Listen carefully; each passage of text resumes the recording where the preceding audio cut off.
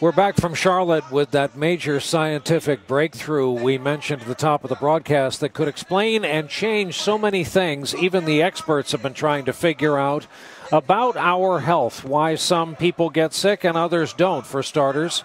Our report from our chief science correspondent, Robert Bazell. It's as though after decades of looking at the darkness of space, a fantastic new telescope has revealed new galaxies, allowing us to see millions of undiscovered planets.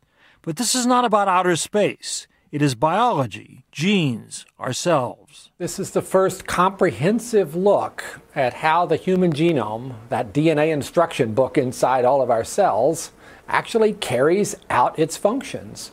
Until now, scientists have only concentrated on a small percent of our genes that make proteins. They've called the rest junk DNA, not understanding its purpose.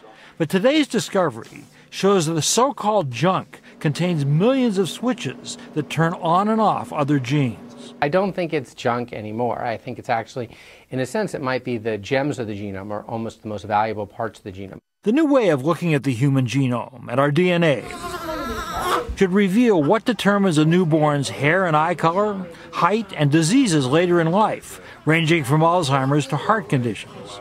It will also give scientists a new roadmap to find treatments for those and hundreds of other diseases. The research also solves a great mystery in biology how we humans are so different from other animals when we share many of the same genes.